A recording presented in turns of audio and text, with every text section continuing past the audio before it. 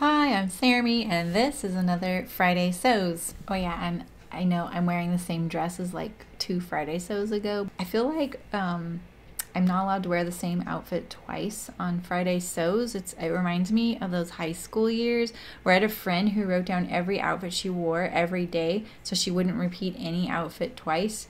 Um, that's probably not going to happen here. You're probably going to see me in one of four outfits for every Friday Sews, just to warn you. So, and this is my current favorite.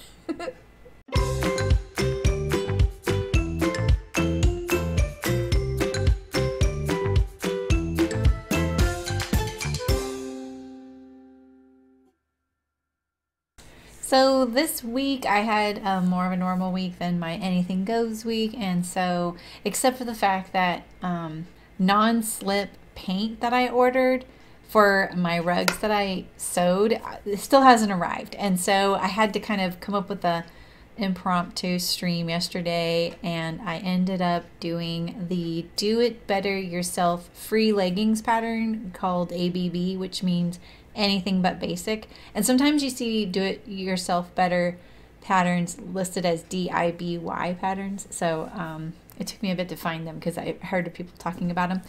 And um, I have them here to show you.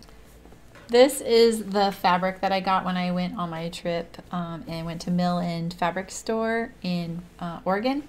And I wanted a fabric that would be less noticeable so that when I made some undershorts for wearing under dresses, it wouldn't be as noticeable as like a black if I was wearing like a white dress or a light color dress. And so I got this and then I got what I thought was matching lace, but lately it doesn't look like it matches as well as I it did when I got it. um, I opted for the wider waistband and it was very fast to sew so fast that I didn't like the way I attached the lace the first time so I cut it off cut it off and then I did it again and I really like the way this turned out, this is pretty nice. I just overlocked it on and then cover stitched it. So it has this finish here. I don't know if this is exactly what I would do forever, but I like this method so far. Um, the only quirk I will say about this pattern, and I did the Misses pattern, not the plus size, is that the grade on this center front rise is flipped. It's um, going the opposite direction it should.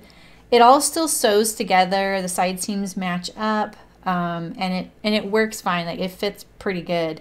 Uh, it's I feel like they're kind of loose, but I think it's because this fabric has so much stretch, and it does have this little kind of a you can see like right here maybe that it has this kind of bump right here. It's kind of more of a three dimensional bump, like it's it's like cupped like this, uh, and I think that's because it had to get this grade was correct and it had to get all the way down to the front to the wrong grade. So, but like I said, it actually works really well. If I made these again, I'd probably do the narrower waistband because it doesn't, I didn't really need this width, but I was looking, looking for a short to wear under dresses so that my legs don't rub together because it gets so bloody hot here. And I do want something that isn't too tight. Um, I think you could go the compression route if you want, but I was looking for something that was smooth under my clothes and wouldn't show, you know, any bumps or lumps or um, or the waistband. I don't want anyone to know I'm wearing shorts under there. You know what I mean? So anyway, I'm really happy with how they came out and I have enough fabric to make a camisole. I almost made two pairs of shorts, but I saved the rest to make a um, like a camisole or undershirt. So pretty excited about that too. Now I just need to find a pattern. I've gotten some good suggestions for that. I did get one package this week, and it was my order from when the Cashmerette blazer came out. I ordered the print version of the pattern. You get the PDF um, when you purchase it, but I got the print version because I also got the kit with all the notions in it to make the blazer. And if you remember, this is the fabric right now I have print I have picked out for my blazer. I have this as the outer and this as the lining. You guys, I love these fabrics together. Like, I love them together.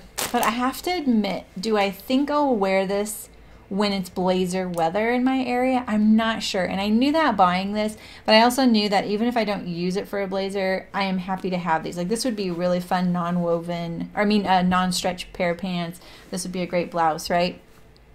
So I may still be on the hunt for some blazer fabric, but um, I love these no matter what, and maybe it will just make me wear them anyway, right? So, so I thought I'd show you what came in this kit. It's a bunch of different stabilizers and interfacings.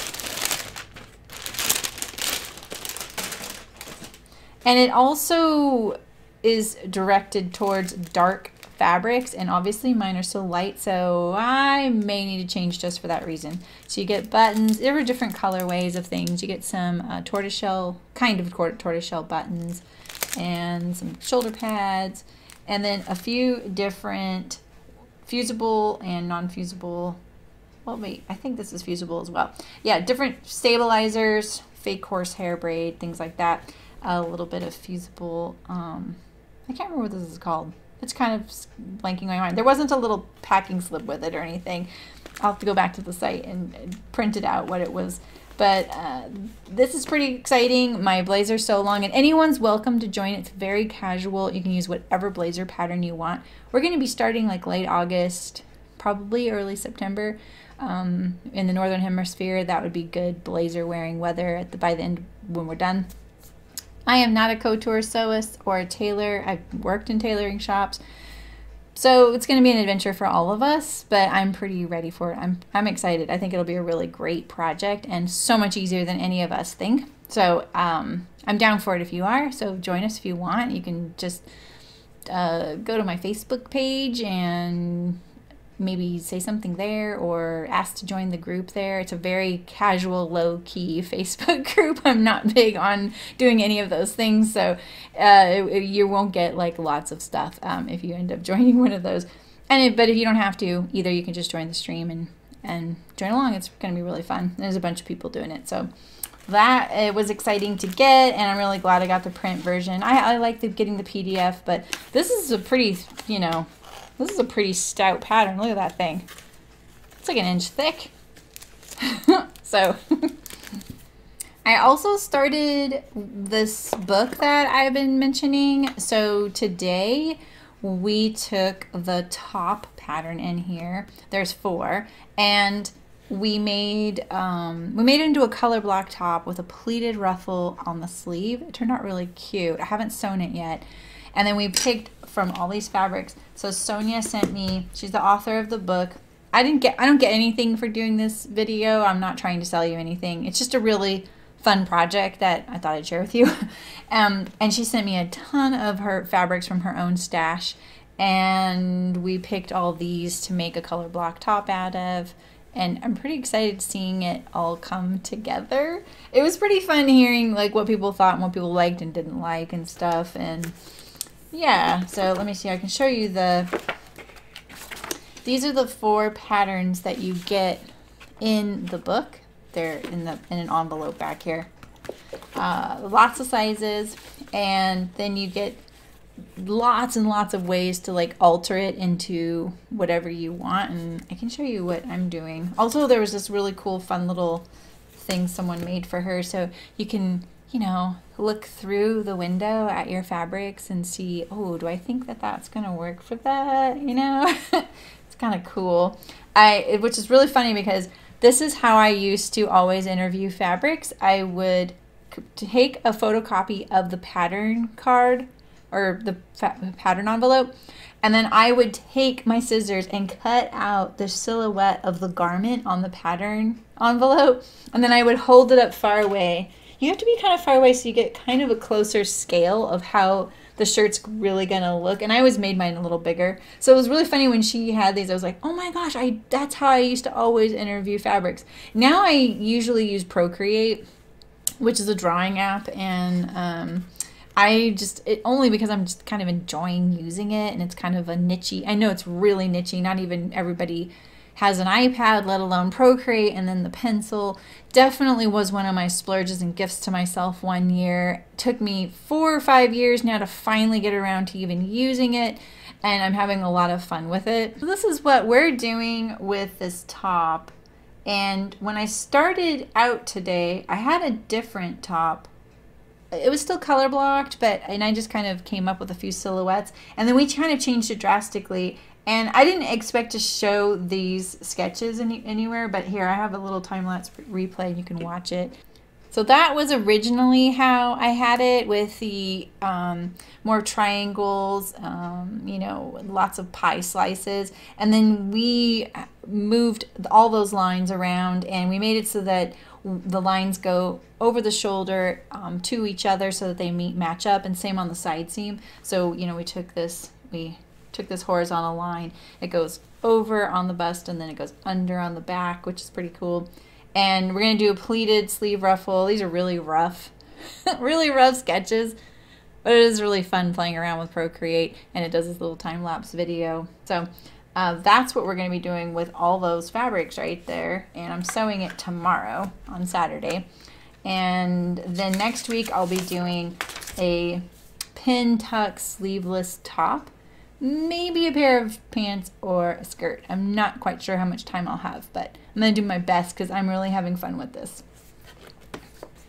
I also been sewing all of my bags that I have for that order and I'm, I'm making progress with that but I'm really missing making uploaded videos and how-tos and things like that and I've told myself I'm not allowed to until that bag order is done because that's kind of it's like my dessert you know so trying to get it done and it's making me more motivated to get the bags done faster so that I can get back to making uploaded videos. Not that I have much time to do it, but I will once these bags are done. And the bags are a really enjoyable project. You know, I can just like watch a movie, I can actually stream and, and do some production sewing. So that's kind of fun too, you know. Other than that, uh, my new routine of using the journal to do my daily planner and uh, has been working really, really good. I've had some of my calmest last couple of weeks, especially centered around work, and I started exercising again, which is really awesome. And now I've even been not eating any treats, which is really hard for me. I'm a, I'm a big time, got big time sugar tooth, you know, sweet tooth. Um, I'm only doing that on Sundays. So we'll see how long that lasts. I'm so bad, but it's not, it's been pretty easy so far, mainly because it's watermelon season and that is such a great treat for me. I know watermelon doesn't suit everybody, but for me, it really hits the spot. Um, and then uh, last night I made these little peanut butter balls with cacao nibs and what else? I, oh, a little tiny bit of honey and oh, a little bit of unsweetened cocoa powder. And so that really hit the spot too, like the, the kind of richer chocolate spot. But there's no way I can live with ice without ice cream at least a few times a week. I mean, I got to be honest. Like I'm, I really love ice cream. I don't really think that's one of the worst things I could be eating my daughter works at a candy store, you guys, so the struggle has been tough this past year. I, I got super into eating hot tamales because I'm not, I wasn't allergic to them, but for years and years and years, they really irritated me. Anything that was fake cinnamon really irritated my skin. I, I guess I have really sensitive skin and realize that's what that I do. Uh, I'm covered in poison oak right now, and I'm literally squirming because I'm kind of itchy. Um, and I never got poison oak until this year. Uh, and I think it's because I had this really, I'm sure I've mentioned this, but I had this really bad experience with agave last fall. And ever since then, now my skin is super sensitive. If I even get poked once with an agave, because there's tons of it on our property, I will um, erupt in little blisters now. And so I, um, yeah, I mean, I don't know how I got from candy to poison oak, but yeah, this um, past year, you know, kind of kind of crazy as far as things like that go.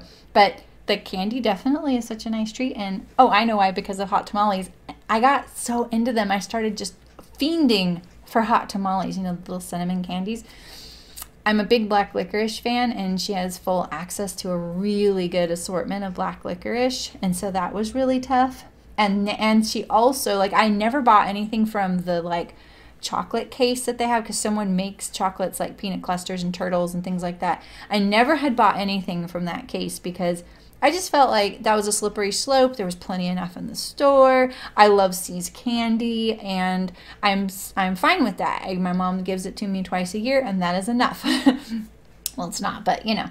Um, and there's also a gelato case there. So she brought me home some of my favorite black licorice the other day, and I put it in the in the pantry. I was like, all right, you can't look at this till Sunday, but I keep thinking about it. I'm like, just one won't hurt. Just one. It's not the fact that one will hurt. I'm just trying to be a little better about how much sugar I've been eating because I've been eating a lot, you guys. And it I have rosacea too, so it really aggravates it. This is so much. You don't really know know about my skin issues, but I think when you're this fair and you have those Scandinavian roots, you are. Um, I can't even go out in the sun, really. You know, like that's just how it is for me. And I don't, I don't mind. Like I don't, I, I'm still smiling. You know, I'm still smiling. It's no big deal. It's just you deal with what you get. I don't ever stress about stuff like that at all. In fact, if I did, I'd probably be doing a better job at managing my poison oh, oak right now. Anyway, that's what I'm up to these days. But I just wanted to say that the, my little journaling thing is going good. I made a ton of progress in my book. You guys are going to be happy. I'll finally have another book to share. All right, well, let me know what you're working on. And I don't know, what do you guys think of these colors? I'm going to put a little edge of this, just a really thin um, flat fold kind of piping without the piping in it in between some layers between like the sleeve and the ruff the ruffle and the body or and maybe across the horizontal line. My chat really half of them are really against this pink but i'm so into it with these colors. They look so good in this in this light. It's so pretty good. Um and i was really into this polka dot and now when i saw it all cut up because i laid it all out we cut out all the pieces and laid it all out i don't know it looks kind of um, not vintage, but it doesn't look very modern to me anymore. Isn't that funny? How once you cut it up. So, anyway, not my fabrics, but hey, what more fun can you have than playing else with playing with someone else's fabric stash? This was great. So, have a great weekend, you guys. I'll see you next week. Bye.